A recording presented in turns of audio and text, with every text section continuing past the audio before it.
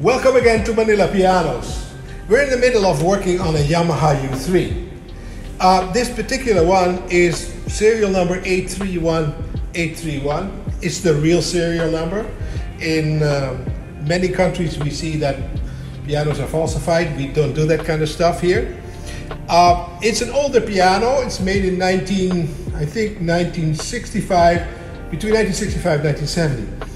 Right away, what I can see here that is so good on those older pianos is the wood that is used.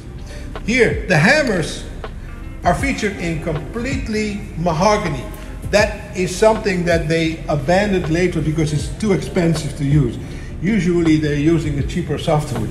And the older, sorry, the younger the piano becomes, the more cheaper parts are going to be used. And that doesn't even count for Yamaha, that's also for Kawai, using plastic parts and all that stuff.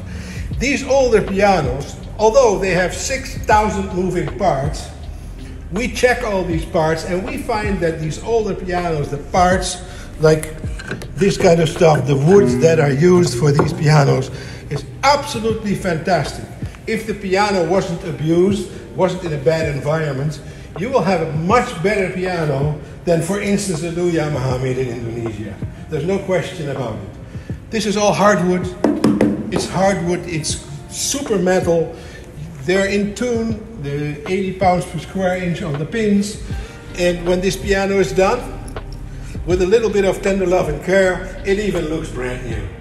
Now, a piano like this new, a new Yamaha U3, will cost you a fortune. This piano here sells for 249,000, completely redone with a 10-year warranty. Come to Manila Pianos, www.pianos.ph and find out for yourself. Thank you for your attention.